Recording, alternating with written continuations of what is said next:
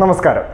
അപ്പം നമ്മൾ ഇന്ന് എട്ടാം ക്ലാസ്സിൽ ഫിസിക്സ് ആണ് പഠിക്കാൻ പോകുന്നത്. ഏഴാം ക്ലാസ്സിലെ കണക്കിന് എട്ടാം ക്ലാസ്സിലും നിങ്ങൾക്ക് രണ്ട് ടെക്സ്റ്റ് ബുക്കാണുള്ളത് പാർട്ട് വൺ ടെക്സ്റ്റും പാർട്ട് ടു ടെക്സ്റ്റും പാർട്ട് വൺ ടെക്സ്റ്റിൽ മൊത്തം പതിനൊന്ന് ചാപ്റ്റേഴ്സ് ആണുള്ളത്. അതിൽ എട്ടാമത്തെ മുതൽ പതിനൊന്നാമത്തെ ചാപ്റ്റർ വരെയാണ് എന്ത്? ഫിസിക്സ് ചാപ്റ്റർ എന്ന് പറയുന്നത്. അതിലെ എട്ടാമത്തെ ചാപ്റ്ററായ മെഷർമെന്റ്സ് ആൻഡ് യൂണിറ്റ് അളവുകളും യൂണിറ്റുകളുമാണ് നമ്മൾ ഇന്നിവിടെ പഠിക്കാൻ പോകുന്നത്. അപ്പം ചാപ്റ്ററിലൂടെ കടക്കുന്നതിന് മുമ്പ് എന്തുകൊണ്ട് മെഷർമെന്റ് ഇമ്പോർട്ട ഇത്ര ഇമ്പോർട്ടന്റ് എന്ന് പറയാം. അപ്പം മെഷർമെന്റ് എന്ന് അതായത് അളവുകൾ എന്ന് പറഞ്ഞാൽ നമ്മൾ എല്ലാ ദിവസവും നമ്മൾ കണ്ടുവരുന്ന ഒരു സാധനമാണ്. അതായത് ഇപ്പോൾ ഒരാൾ നമ്മുടെ അടുത്ത് നമ്മളുടെ നീളം ചോദിക്കുന്നു. അപ്പോൾ അതെന്താണ്? നമ്മൾ പറയും ഇത്ര സെന്റിമീറ്റർ അല്ലെങ്കിൽ ഇത്ര അടി നീളം എനിക്കുണ്ട്. ഇതെന്താണ്? ഇതൊരു മെഷർമെന്റ് ആണ്. അതാണ് ഒരു ദൂരം പറയുമ്പോൾ സമയം പറയുമ്പോൾ നമ്മൾ കടയിൽ പോയി സാധനം വാങ്ങുമ്പോൾ ഇതെല്ലാം എന്താണ്? അളവ് പറഞ്ഞാണ് നമ്മൾ കടയിൽ പോയി സാധനം വാങ്ങുന്നത്. അപ്പോൾ ഒരു ദൂരവും അള നീളവും സമയവും എല്ലാം എന്താണ്? മെഷർമെന്റ് ആണ്. അതുകൊണ്ട് തന്നെ എന്താണ്? മെഷർമെന്റ് എന്ന് പറയുന്നത് വളരെ ഇമ്പോർട്ടന്റ് ആണ്. ഫിസിക്സ് എന്ന് പറയുന്നത് ഒരു സബ്ജക്റ്റ് ആണ്. ക്വാണ്ടിറ്റേറ്റീവ് സബ്ജക്റ്റ് എന്ന് പറയുമ്പം കാൽക്കുലേഷൻസ് നമ്പേഴ്സ് ഇക്വേഷൻസ് ഇതൊക്കെ ബന്ധപ്പെടുന്ന ഒരു സബ്ജക്റ്റാണ് ക്വാണ്ടിറ്റേറ്റീവ് സബ്ജക്റ്റ് എന്ന് പറയുന്നത്. അപ്പോൾ അങ്ങനെ നോക്കുമ്പോൾ ഫിസിക്സ് എന്ന് പറയുന്നത് ഒരു ക്വാണ്ടിറ്റേറ്റീവ് സബ്ജക്റ്റ് ആണ് ഫിസിക്സിൽ ഒരു എക്സ്പീരിമെന്റ് എടുക്കുന്നു. അതിന്റെ റിസൾട്ട് എന്ന് പറയുന്നത് എപ്പോഴും ഒരു മെഷർമെന്റ് അളവായിരിക്കും. അത് ചിലപ്പോൾ സമയമായിരിക്കാം ഒരു ഏരിയ ആയിരിക്കാം നീളമായിരിക്കാം എന്തുവാം. പക്ഷേ എപ്പോഴും ഫിസിക്സിൽ ഒരു എക്സ്പീരിമെന്റ് റിസൾട്ട് എന്ന് പറയുന്നത് എന്തായിരിക്കും? ഒരു മെഷർമെന്റ് ആയിരിക്കും. ചാപ്റ്ററിലോട്ട് അടക്കുമ്പോൾ നമ്മൾ ചാപ്റ്ററിൽ ആദ്യം പഠിക്കാൻ പോകുന്നത് ലെങ്ത്തിനെ കുറിച്ചാണ്. ചാപ്റ്റർ തുടങ്ങുന്നതെന്ന് പറഞ്ഞാൽ എന്താണ്? ഒരു എക്സ്പീരിമെന്റ് ഒരു ആക്ടിവിറ്റിയോട് കൂടിയാണ് തുടങ്ങുന്നത്. ഒരു ടേബിൾ ആ ടേബിളിന്റെ നീളം നമ്മളുടെ കയ്യിൽ നിന്ന് പെൻസിൽ ഉപയോഗിച്ച് അളക്കുക എന്നുള്ളതാണ് ആക്ടിവിറ്റി ഇപ്പോൾ നമ്മൾ ആ ടേബിൾ ഇതാണെന്നിരിക്കട്ടെ ഇതാണ് ആ ടേബിൾ എന്നിരിക്കട്ടെ ഈ ടേബിളിൽ എന്റെ കയ്യിരിക്കുന്ന ഈ മാർക്കർ കൊണ്ട് അളക്കുക എന്നുള്ളതാണ് ആക്ടിവിറ്റി നമുക്ക് നാളെ നോക്കാം. ഒന്ന് രണ്ട് രണ്ടര. അപ്പം എന്റെ കയ്യിരിക്കുന്ന മാർക്കർ കൊണ്ട് ഈ ടേബിൾ അളന്നപ്പോൾ എത്ര കിട്ടി? രണ്ടര.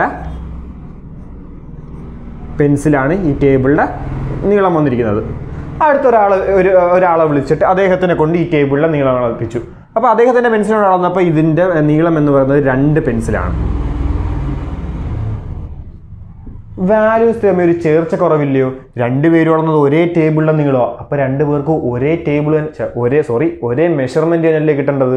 പക്ഷെ ഇവിടെ നോക്കി രണ്ട് പേർക്കും ഡിഫറെന്റ് മെഷർമെന്റ് ആണ് കിട്ടിയത്. അതെന്തോ അങ്ങനെ പറ്റിയത്? കാരണം രണ്ടുപേരും എടുത്തിരിക്കുന്ന സ്കെയിൽ വ്യത്യാസമായിരുന്നു. രണ്ടുപേരും ഡിഫറെന്റ് സ്കെയിൽ എടുത്തതുകൊണ്ടാണ് ഡിഫറെന്റ് മെഷർമെന്റ് എന്ന് പറയുന്നത്. രണ്ടുപേരും സെയിം സ്കെയിലാണ് ഉപയോഗിച്ചിരുന്നെങ്കിൽ എന്ത് പറ്റിയേനെ? രണ്ടുപേർക്കും സെയിം മെഷർമെന്റ് തന്നെ കിട്ടിയേനെ. അതിന് ആ ആക്ടിവിറ്റിക്കകത്ത് തന്നെ ടെക്സ്റ്റിനകത്തുള്ള ആക്ടിവിറ്റിക്കകത്ത് തന്നെ പിന്നെ പറയുന്നുണ്ട് മൂന്ന് സോറി അടുത്തത് എല്ലാവരും ഒരേ നീളമുള്ള ഈർക്കൽ കൊണ്ട് ഈ ടേബിളിൽ നീളം അളക്കാൻ. അപ്പം എന്താണ് ഇവിടെ എല്ലാവരും ഒരേ നീളമുള്ള ഈർക്കൽ കൊണ്ട് അളക്കാനാണ് പറയുന്നത്. അപ്പോൾ എന്ത് പറ്റും? ഒരേ നീളമുള്ള ഈർക്കൽ കൊണ്ട് ഈ ടേബിൾ അളക്കുമ്പോൾ എല്ലാവർക്കും എന്ത് കിട്ടും? സെയിം മെഷർമെന്റ് ഉണ്ട്. ഇപ്പം ഞാൻ അളന്നാലും ഇപ്പം നേരത്തെ രണ്ടാമത്തെ ആൾ അളന്നാലും എല്ലാം എന്താണ്? സെയിം മെഷർമെന്റ് തന്നെ കിട്ടും. കാരണം എന്താണ്? അവിടെ എടുത്ത സ്കെയിൽ എന്ന് പറഞ്ഞാൽ സിമിലറാണ് മൂന്ന് പേരുടെ ഇരുക്കലിന്റെ നീളം എന്താണ്? സെയിം ആണ്. ഇവിടെ ഓരോരുത്തരുടെ പെൻസിലിന്റെ നീളം എന്ന് പറഞ്ഞാൽ ഡിഫറന്റ് ആണ്. കാരണം സ്കെയിൽ ഡിഫറന്റ് ആണ്. അതുകൊണ്ടാണ് നമുക്കിവിടെ ഡിഫറന്റ് മെഷർമെന്റ് കിട്ടിയത്. സ്കെയിൽ ഡിഫറന്റ് ആകുമ്പോൾ മെഷർമെന്റും മാറും. സെയിം സ്കെയിലാകുമ്പോൾ മെഷർമെന്റ് കറക്റ്റ് ആവും. എങ്കിൽ മാത്രമേ നമുക്കൊരു ആക്യുറേറ്റ് ആയിട്ട് പ്രിസൈസ് ആയിട്ടുള്ള മെഷർമെന്റ് കിട്ടൂ. അതായത് ഒരു ടേബിളിന്റെ നീളം അല്ലെങ്കിൽ ഒരു വസ്തുവിന്റെ നീളം അളക്കുമ്പോൾ കൃത്യമായിട്ട് കിട്ടണമെങ്കിൽ എന്ത് എടുക്കണം? ഏതൊരു മെഷർമെന്റ് ആയാലും കൃത്യമായിട്ട് എല്ലാവർക്കും ഒരേ കണക്കുള്ള വാല്യൂ കിട്ടണമെങ്കിൽ സ്കെയിൽ എല്ലാവരും അളക്കുന്ന സ്കെയിൽ സെയിം ആയിരിക്കും. അപ്പം പണ്ട് കാലത്ത് നീളം അളക്കാൻ ഉപയോഗിച്ച വഴിയായിരുന്നു മുഴം എന്ന് പറയുന്നത്. ഒരു മുഴം കയറെന്നൊക്കെ ആയിരുന്നു പറയുന്നത്. അപ്പം മുഴം എന്ന് പറഞ്ഞാൽ നമ്മളുടെ വിരൽത്തുമ്പ് തൊട്ട് മുട്ട് വരെയുള്ള നീളത്തെയാണ് മുഴം എന്ന് പറയുന്നത്. ഒരു ഫോർ ഹാൻഡിന്റെ നീളത്തെയാണ് മുഴം എന്ന് പറയുന്നത്. പലർക്കും ഫോർ ഹാൻഡിന്റെ നീളം ആ മുട്ട് വരെയുള്ള നീളം എന്ന് പറഞ്ഞാൽ പലതാണ്. അതുകൊണ്ട് തന്നെ സ്കെയിൽ അതായത് അപ്പോൾ ഇത് ഇതൊരു സ്കെയിലായിട്ട് എടുക്കുവാണെങ്കിൽ സ്കെയിൽ ഡിഫറന്റ് ആണ്. ഡിഫറന്റ് സ്കെയിൽ ഒന്ന് എന്ത് പറ്റും? അളവിലും മെഷർമെന്റിലും ഡിഫറന്റ് വരും. അപ്പം അങ്ങനെ ലോകമെമ്പാടും കമ്മ്യൂണിക്കേഷൻ മെഷർമെന്റ് ഈ അളവുകളുടെ കാര്യത്തിൽ കമ്മ്യൂണിക്കേഷൻ എളുപ്പമാക്കാൻ വേണ്ടി ഒരു എല്ലാത്തിനും ഒരു സ്റ്റാൻഡേർഡ് യൂണിറ്റ് കണ്ടുപിടിച്ചു. അങ്ങനെ കണ്ടുപിടിച്ച ലെങ്ത്തിന്റെ സ്റ്റാൻഡേർഡ് യൂണിറ്റ് ആണ്. ബേസിക് അടിസ്ഥാന സ്റ്റാൻഡേർഡ് യൂണിറ്റ് ആണ് എന്ത് മീറ്റർ എന്ന് പറയുന്നത് അപ്പം ലെങ്ത്തിന്റെ അടിസ്ഥാന യൂണിറ്റ് ബേസിക് യൂണിറ്റ് ആണ് എന്ത് മീറ്റർ എന്ന് പറയുന്നത് അതിനെ റെപ്രസെന്റ് ചെയ്യുന്ന ഏത് അക്ഷരം വെച്ചാണ്? എം എന്ന് പറയുന്ന അക്ഷരം വെച്ചാണ് എന്ത്? മീറ്ററിനെ റെപ്രസെന്റ് ചെയ്യുന്നത്. അപ്പം നീളത്തിന്റെ അടിസ്ഥാന unit basic unit of length എന്ന് പറയുന്നത് എന്താണ്? മീറ്റർ ആണ്. അതിനെ റെപ്രസെന്റ് ചെയ്യുന്ന ഏത് അക്ഷരം കൊണ്ട്? എം എന്ന് പറഞ്ഞ അക്ഷരം കൊണ്ട്. നമുക്കടുത്ത lesser unit sorry smaller unit of length നോക്കാം. നീളത്തിന്റെ ചെറിയ യൂണിറ്റുകൾ. സെന്റിമീറ്റർ മില്ലിമീറ്റർ നമ്മൾ പരിചിതമായ വാക്കുകളാണ് സെന്റിമീറ്ററും മില്ലിമീറ്ററും അതാണെന്ത്? ലെങ്ത്തിന്റെ നീളത്തിന്റെ ചെറിയ യൂണിറ്റുകൾ എന്ന് പറയുന്നത്. സെന്റിമീറ്ററും മില്ലിമീറ്ററും ഇപ്പോൾ സ്കെയിൽ എടുക്കുകയാണെങ്കിൽ ഈ ഒരു സ്കെയിൽ എടുത്ത് നമ്മൾ സ്കെയിലിനകത്ത് കാണുന്ന ഈ അക്കങ്ങൾ എഴുതിയ വലിയ വരകളുണ്ട്? ഒരു സ്കെയിൽ ഇത് ഇപ്പം മുപ്പത് സെന്റിമീറ്റർ സ്കെയിൽ നമ്മൾ സാധാരണ ഉപയോഗിക്കുന്ന പതിനഞ്ച് സെന്റിമീറ്റർ സ്കെയിൽ. ആ ഏത് സ്കെയിൽ എടുത്താലും അതിനകത്ത് വലിയ വരകൾ. അക്കങ്ങൾ എഴുതിയ ഈ വലിയ വരകളെ പറയുന്ന പേരാണെന്ത്? സെന്റിമീറ്റർ എന്ന് പറയുന്നത്. അപ്പോൾ സെന്റിമീറ്റർ എന്ന് പറഞ്ഞു കഴിഞ്ഞാൽ അക്കങ്ങൾ എഴുതിയ വലിയ വരകളെ പറയുന്ന പേരാണെന്ത്? സെന്റിമീറ്റർ എന്ന് പറഞ്ഞാൽ. ആ ഈ സെന്റിമീറ്ററിന്റെ ഇടയ്ക്ക് സോറി സെന്റിമീറ്ററിന്റെ ഇടയ്ക്ക് ചെറിയ ചെറിയ പത്ത് വരകൾ കാണാം. ഓരോ സെന്റിമീറ്ററിന്റെ ഇടയ്ക്ക് ചെറിയ ചെറിയ പത്ത് വരകളാണ്. അതിനെ പറയുന്ന പേരാണെന്ത്? മില്ലിമീറ്റർ എന്ന് പറയുന്നത്. അപ്പോൾ അക്കങ്ങൾ എഴുതിയ വലിയ അക്ഷരങ്ങൾ വലിയ വരകൾ എന്ത് പറയും? സെന്റിമീറ്റർ എന്ന് പറയും. അതിന്റെ ഇടയ്ക്കുള്ള ചെറിയ ചെറിയ പത്ത് വരകൾ ആ വരകൾ എന്ത് പറയും? മില്ലിമീറ്റർ എന്ന് പറയും. അപ്പോൾ സെന്റിമീറ്ററിന്റെ ഇടയ്ക്ക് എത്ര മില്ലിമീറ്റർ ഉണ്ട്? പത്ത് ചെറിയ വരകളില്ലയോ? അപ്പോൾ ഒരു സെന്റിമീറ്ററിന്റെ ഇടയ്ക്ക് എത്ര മില്ലിമീറ്റർ ഉണ്ട്? പത്ത് മില്ലിമീറ്റർ ഉണ്ട്. അപ്പം പത്ത് മില്ലിമീറ്റർ ചേർന്നിട്ടാണ് എന്ത് ചെയ്യുന്നത്? ഒരു സെന്റിമീറ്റർ ആവുന്നത്. അതേ കണക്ക് തന്നെ നൂറ് സെന്റിമീറ്റർ ചേർന്നിട്ടാണ് ഒരു മീറ്റർ ആവുന്നത്. ഇത് നമ്മൾ മുപ്പത് സെന്റിമീറ്റർ സ്കെയിൽ സാധാരണ ഉപയോഗിക്കുന്ന പതിനഞ്ച് സെന്റിമീറ്റർ സ്കെയിൽ അങ്ങനെ നൂറ് സെന്റിമീറ്ററിന്റെ സ്കെയിലിനെ പറയുന്ന പേരാണ് മീറ്റർ സ്കെയിൽ എന്ന് പറയുന്നത്. അപ്പോൾ നൂറ് സെന്റിമീറ്റർ ഉള്ള സ്കെയിലിനെ പറയുന്ന പേരാണ് മീറ്റർ സ്കെയിൽ എന്ന് പറയുന്നത്. അപ്പം പത്ത് മില്ലിമീറ്റർ ഉപയോഗിച്ച് ഒരു സെന്റിമീറ്ററിനെ പറ സെന്റിമീറ്റർ ആവുന്നു നൂറ് സെന്റിമീറ്റർ ചേർന്നിട്ട് ഒരു മീറ്റർ ആവുന്നു. നമ്മൾ ഒരു സ്ഥലത്തു നിന്നും മറ്റൊരു സ്ഥലത്തോട്ട് പോകുന്ന ദൂരം എന്തിനാണ് പറയുന്നത്? കിലോമീറ്ററിലാണ് പറയുന്നത്. ആ ആയിരം മീറ്റർ ചേർന്നിട്ടാണ് എന്ത്? ഒരു കിലോമീറ്ററായി മാറുന്നത് അങ്ങനെ ആയിരം മീറ്റർ ചേർന്നിട്ടാണ് എന്താവുന്നത്? ഒരു കിലോമീറ്റർ ആവുന്ന. നമ്മളിപ്പോൾ ഇന്ന് പഠിച്ചതെന്ന് പറയുന്നത് ലെങ്ത്തിനെ കുറിച്ചാണ് പഠിച്ചത്. ലെങ്ത്തിന്റെ അടിസ്ഥാന യൂണിറ്റ് ബേസിക് യൂണിറ്റ് എന്താണെന്ന് പഠിച്ച്. മീറ്റർ ആണെന്ന് പഠിച്ചു. അതിനെ റെപ്രസെന്റ് ചെയ്യുന്ന അക്ഷരം എന്ന് പറയുന്നത് എം ആണെന്ന് പഠിച്ചു. അതിനുശേഷം നീളത്തിന്റെ ചെറിയ യൂണിറ്റുകളായ സെന്റിമീറ്ററും മില്ലിമീറ്ററും പഠിച്ചു. അപ്പോൾ സെൻ പത്ത് മില്ലിമീറ്റർ ചേർന്നിട്ടാണ് ഒരു സെന്റിമീറ്റർ എന്ന് പഠിച്ചു. നൂറ് സെന്റിമീറ്റർ ചേർന്നിട്ടാണ് ഒരു മീറ്റർ എന്നും പഠിച്ചു. ഇനി നമുക്ക് ലീസ്റ്റ് കൗണ്ട് എന്താണെന്ന് നോക്കാം. എന്താണ് ലീസ്റ്റ് കൗണ്ട് ലീസ്റ്റ് ആ വാക്കിൽ തന്നുണ്ട് ലീസ്റ്റ് ചെറുത്. അതായത് ഒരു അളക്കുന്ന വസ്തു ഉപയോഗിച്ച് അളക്കുന്ന ഒരു വസ്തു ഉപയോഗിച്ച് അളക്കാൻ പറ്റുന്ന ഏറ്റവും ചെറിയ അളവിനെ പറയുന്ന പേരാണെന്ത്? ലീസ്റ്റ് കൗണ്ട് എന്ന് പറയുന്നത്. The smallest measurement that can be measured using and measuring instrument ഒരു അളക്കുന്ന വസ്തു ഉപയോഗിച്ച് അളക്കാൻ പറ്റുന്ന ഏറ്റവും ചെറിയ യൂണിറ്റിനെയാണ് എന്ത് പറയുന്നത്? ലീസ്റ്റ് കൗണ്ട് എന്ന് പറയുന്നത്. അങ്ങനെയാണെങ്കിൽ നമ്മൾ ഇപ്പോൾ സ്കെയിൽ നമ്മൾ സാധാരണ ഉപയോഗിക്കുന്ന സ്കെയിലിന്റെ ലീസ്റ്റ് കൗണ്ട് എത്ര ആയിരിക്കും നമ്മൾ സാധാരണ ഉപയോഗിക്കുന്ന സ്കെയിൽ എന്ന് പറയുന്നത് പതിനഞ്ച് സെന്റിമീറ്റർ സ്കെയിൽ എടുക്കുക. അപ്പോൾ അതിനകത്ത് സെന്റിമീറ്റർ മില്ലിമീറ്റർ മാത്രമാണുള്ളത്. അതിനകത്ത് അളക്കാൻ ഏറ്റവും ചെറിയ മെഷർമെന്റ് ഏറ്റവും ചെറിയ അളവെന്ന് പറയുന്നത് മില്ലിമീറ്റർ ആണ്. അപ്പോൾ ആ സ്കെയിലിലെ ഏറ്റവും ഏറ്റവും ചെറിയ അളവായ മില്ലിമീറ്റർ ആയിരിക്കും എന്ത്? അതിന്റെ ലീസ്റ്റ് കൗണ്ട് എന്ന് പറയുന്നത്. അപ്പോൾ ഒരു സ്കെയിലിന്റെ ലീസ്റ്റ് കൗണ്ട് എന്ന് പറയുന്നത് എന്തായിരിക്കും? മില്ലിമീറ്റർ ആയിരിക്കും. നമ്മൾ സമയം നോക്കുന്ന വാച്ച് അല്ലെങ്കിൽ വീട്ടിലുള്ള ക്ലോക്ക് അതിന്റെ ഏറ്റവും ലീസ്റ്റ് കൗണ്ട് എന്ന് പറയുന്നത് എന്തായിരിക്കും? സെക്കൻഡ് ആയിരിക്കും. കാരണം അതിനകത്തുള്ള ഏറ്റവും ചെറിയ അളവ് എന്ന് പറഞ്ഞാൽ സെക്കൻഡാണ് അതിനകത്ത് എന്തൊക്കെയുണ്ട്? ഒരു ക്ലോക്കിനകത്ത് അല്ലെങ്കിൽ വാച്ചിനകത്ത് മണിക്കൂറുണ്ട് അവേഴ്സ് ഉണ്ട് മിനിറ്റ് ഉണ്ട് സെക്കൻഡ് ഉണ്ട്. അതായത് ഏറ്റവും ചെറു സെക്കൻഡ് അല്ലയോ?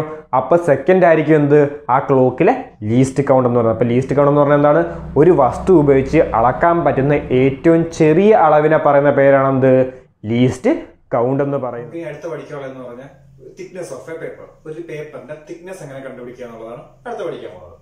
ഇപ്പൊ നമ്മൾ ഒരു പേപ്പറിന്റെ തിക്നെസ് എടുത്ത് പറയുക എന്ന് പറഞ്ഞാൽ ഭയങ്കര ബുദ്ധിമുട്ടാണ്. അതായത് നമുക്ക് സ്കെയിൽ ഉപയോഗിച്ച് നമുക്ക് അളക്കാൻ പറ്റില്ല. കാരണം സ്കെയിലിൽ അളക്കാൻ പറ്റുന്ന ഏറ്റവും ചെറിയ മെഷർമെന്റ് എന്ന് പറയുന്നത് എന്താണ്? ഇഞ്ചാണ്. സോറി ഇഞ്ചല്ല മില്ലിമീറ്റർ ആണ്. മില്ലിമീറ്റർ ആണ്. അപ്പം ഒരു പേപ്പറിന് പറയുന്നത് മില്ലിമീറ്ററിനെക്കാളും ചെറു ഒരു മില്ലിമീറ്ററിനെക്കാളും ചെറുതാണ് എന്ത്? ഒരു പേപ്പറിന്റെ അളവ്. അപ്പൊ സ്വാഭാവികമായിട്ടും നമ്മൾ സ്കെയിൽ ഉപയോഗിച്ച് ഒരു ഷീറ്റ് പേപ്പറിന്റെ തിക്നെസ് കണ്ടുപിടിക്കാൻ പറ്റില്ല അപ്പൊ നമ്മൾ എങ്ങനെയാണ് ഒരു ഷീറ്റ് പേപ്പറിന്റെ തിക്നെസ് എങ്ങനെ കണ്ടുപിടിക്കും? അതിന് ഒരു പേപ്പറിന് നമ്മൾ ഒരു ബണ്ടിൽ പേപ്പർ ഇടണം. ഒരു ആ ബണ്ടിനകത്ത് ഒരു നൂറ് പേപ്പർ ഇരിക്കട്ടെ ഇപ്പം ഇതേ കണക്ക് ഒരു ബണ്ടിൽ പേപ്പർ നമ്മൾ എടുക്കണം. അതിനുശേഷം ഈ ബണ്ടിൽ പേപ്പറിന്റെ നീളം എത്രയാണ് ഈ സ്കെയിൽ വെച്ച് നമ്മൾ അളക്കണം. എന്താണ് ആദ്യം ചെയ്യേണ്ടത്? ഒരു ഷീറ്റ് പേപ്പറിന് പകരം നമ്മൾ ഒരു ബണ്ടിൽ പേപ്പർ എടുക്കണം. അതിനുശേഷം ആ ബണ്ടിൽ പേപ്പറിന്റെ നീളം എന്ത് ചെയ്യണം? ഈ ഷീറ്റ് സോറി ഈ സ്കെയിൽ വെച്ച് അളക്കണം. അളന്നതിന് ശേഷം നമുക്ക് നോക്കാം. ഇപ്പൊ ഞാൻ പറയുന്നത് ഈ ഒരു ബണ്ടിൽ പേപ്പർ എടുക്കാം. നമുക്കിപ്പോ ഈ ബണ്ടിൽ നൂറ് പേപ്പർ വന്നിരിക്കുക അപ്പൊ ഈ നൂറ് പേപ്പറിന്റെ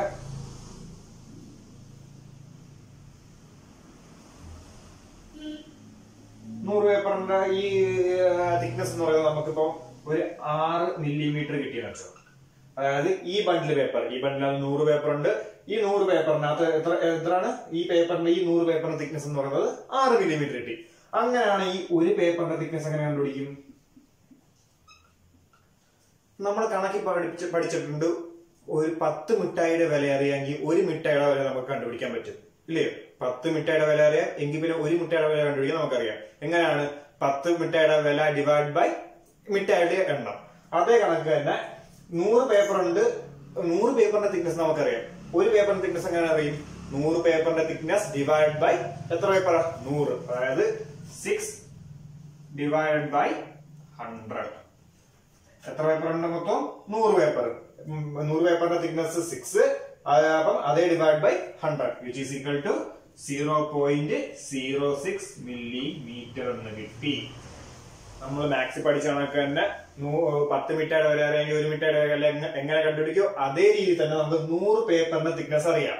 അങ്ങനെയാണെങ്കിൽ ഒരു പേപ്പറിന്റെ തിക്നെസ് എങ്ങനെ കണ്ടുപിടിക്കും? നൂറ് പേപ്പറിന്റെ thickness divide by number of paper അതായത് നൂറ്. അപ്പൊ six by hundred is equal zero point zero six അടുത്തെന്ന് പറഞ്ഞാൽ ഒരു കേവ്ഡ് ലൈനിന്റെ ലെങ്ത് എങ്ങനെ കണ്ടുപിടിക്കുക അപ്പം length of a curved line ഇപ്പൊ ഇതായിരിക്കും ഒരു കേർഡ് ലൈൻ ഈ കേർഡ് ലൈനിന്റെ ലെങ്ത് നമ്മൾ എങ്ങനെയായിരിക്കും കണ്ടുപിടിക്കുന്നത് ഒരു കയറോ ഒരു നൂലോ എടുത്ത് ഇതിന്റെ പുറത്തൂടെ വെച്ച് നീളം എടുത്ത് നമുക്ക് എന്ത് ചെയ്യാൻ പറ്റും? ഈ ഒരു കേർഡ് ലൈനിന്റെ ലെങ്ത് നമുക്ക് കണ്ടുപിടിക്കാൻ പറ്റും.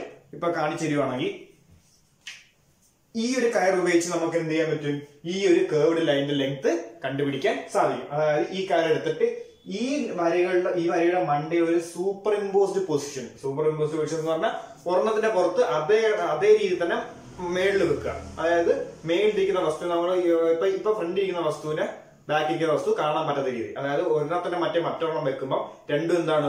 ഒരേ രീതി തന്നെ വെക്കണം. അതിനെയാണ് സൂപ്പർ ഇമ്പോസ്ഡ് പൊസിഷൻ എന്ന് പറയുന്നത്. അപ്പൊ ഈ കയറിനെ ഇതിന്റെ പുറത്ത് സൂപ്പർ ഇമ്പോസ്ഡ് പൊസിഷൻ അതായത് ഇങ്ങനെ വെച്ച് അളവെടുക്കുക. നമുക്ക് പറ്റുന്ന രീതിയിൽ എടുക്കുക.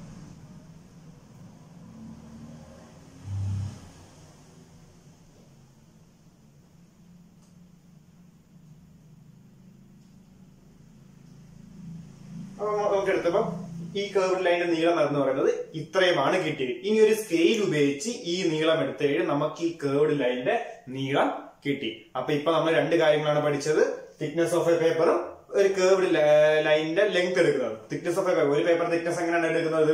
ആദ്യമേ ഒരു പേപ്പറിന് വരെ ഒരു ബണ്ടിൽ പേപ്പർ എടുക്കുക. ആ ബണ്ടിലിന്റെ പേപ്പറിന്റെ തിക്നെസ് ആദ്യമേ നമ്മൾ നോക്കുക. അതിനുശേഷം ആ ബണ്ടിലിനകത്ത് എത്ര പേപ്പർ ഉണ്ടോ അത്രയും കൊണ്ട് ആ തിക്നെസ്സിനെ ഡിവൈഡ് ചെയ്യുക. അപ്പൊ നമുക്ക് ഒരു പേപ്പറിന്റെ തിക്നെസ് കിട്ടും. രണ്ടാമത് ഒരു length of a curved line ഈ കേർഡ് ലൈൻ ലെങ്ത് എങ്ങനെയാണ് നമ്മൾ കണ്ടുപിടിച്ചത്? ആദ്യമേ ഈ ഇതിനകത്ത് കേർഡ് ലൈൻ ഉണ്ടെങ്കിൽ അതിന്റെ പുറത്ത് ഒരു നൂലോ കയറോ ഉപയോഗിച്ച് സൂപ്പർ ഇമ്പോസ്ഡ് പൊസിഷനിൽ വെച്ച് അതിന്റെ നീളം നമ്മൾ അള- അളക്കണം. അതിനുശേഷം ആ കിട്ടിയ നീളം എടുത്ത് എന്ത് ചെയ്യണം? കിട്ടിയ കയറിന് നീളം എടുത്ത് നമ്മൾ സ്കെയിൽ ഉപയോഗിച്ച് മെഷർ ചെയ്യണം. അപ്പൊ ഇന്നത്തെ ക്ലാസ്സിൽ നമ്മൾ പഠിച്ചത് എന്തൊക്കെയാണ്? നമ്മൾ ബേസിക് യൂണിറ്റ് ഓഫ് ലെങ്ത് അതായത് നീളത്തിന്റെ അടിസ്ഥാന യൂണിറ്റ് എന്താണ് പഠിച്ചു. അതിനുശേഷം നീളത്തിന്റെ ചെറിയ ചെറിയ യൂണിറ്റുകൾ ഏതൊക്കെയാണെന്ന് പഠിച്ചു. സെന്റിമീറ്ററും മില്ലിമീറ്ററും അതിനുശേഷം നമ്മൾ ലീസ്റ്റ് കൗണ്ട് എന്തുവെന്ന് പഠിച്ചു. അതിനുശേഷം പിന്നെ രണ്ട് കാര്യങ്ങളാണ് പഠിച്ചത്. തിക്നെസ് ഓഫ് എ പേപ്പർ എങ്ങനെ കണ്ടു ഒരു പേപ്പറിന്റെ തിക്നെസ് എങ്ങനെ കണ്ടുപിടിക്കുന്നതെന്നും ഒരു കേർഡ് ലൈനിന്റെ നീളം എങ്ങനെയാണ് കണ്ടുപിടിക്കുന്നത്. ഇനി കുറച്ച് കാര്യങ്ങൾ കൂടെ കഴിഞ്ഞ് കഴിഞ്ഞാൽ ഈ ലെങ്ത് എന്ന് പറഞ്ഞ ടോപ്പിക് അല്ലെങ്കിൽ ലെങ്ത് എന്ന് പറഞ്ഞ പോർഷൻ കഴിയും. അത് നമുക്ക് അടുത്ത ക്ലാസ്സിൽ പഠിക്കാം. താങ്ക്